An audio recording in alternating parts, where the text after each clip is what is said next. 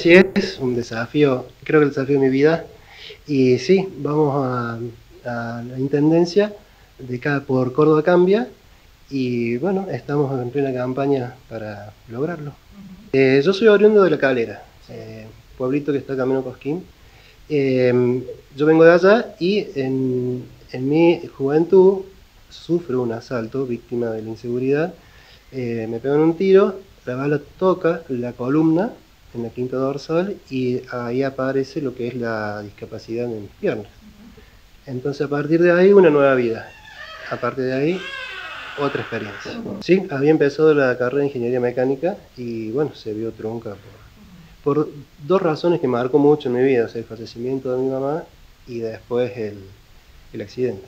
Yo eh, después que vine de Córdoba, me vine a Río Cuarto, ahí empecé de nuevo a estudiar y bueno, ahora como decís vos, sí, me dedico a la docencia. Eh, sí, pero bueno, la, barrera la, tiene uno personalmente ¿no? en la cabeza, eso, la barrera física se superan. Eh, hay que ponerle empeño, este, entusiasmo y se supera, se supera. Y con respecto a mi docencia, es mi pasión. Eh, estar adentro del aula, me olvido de los problemas del mundo. Entro al aula y estoy con los chicos y estoy en, un mundo fantástico. ¿Qué materias te das? Eh, doy física y también doy eh, eh, taller de electricidad. Tal cual, pero no para mí, ¿eh? No, no es muy alejado a mí porque cuando yo vine de Córdoba a Río Cuarto estuve militando un tiempo en la Juventud Radical de Banda Norte. Luego cuando estaba en la universidad estuve militando, pero no tan activamente en el espacio independiente, Luego, cuando era empleado de comercio, que trabajé en un hipermercado, en la segunda gestión de José Luis Roberto estuve integrando la comisión directiva. Eh, ahí hemos logrado mucho para mis compañeros de trabajo.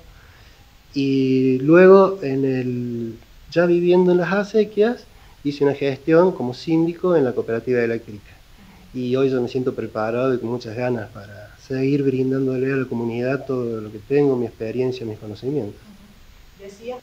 Bueno, yo elegí, elegí eh, vivir ahí, porque tuve, tuve trabajos acá en Río Cuarto, mis primeras horas de, docente las tuve en las acequias y siempre estuve la mirada ahí en el, pueblo y este, como te dije, elegí vivir ahí, eh, tengo mis amigos ahí, elegí desarrollar mi vida ahí en las acequias.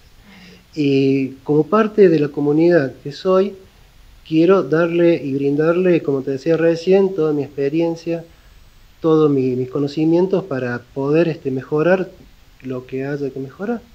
No, yo la cara visible, pero detrás mío hay un equipo de gente, un equipo de gente donde cada profesional se va a dedicar a su área para brindar lo mejor que él tiene y los conocimientos que esa persona tiene en esa área. Reúnen en la casa de alguno y a diseñar y y ponemos en el grupo de WhatsApp a ver qué les parece, opinamos todos y así lo vamos haciendo.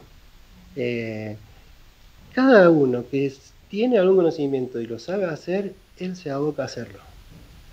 Así que así es nuestro equipo de trabajo.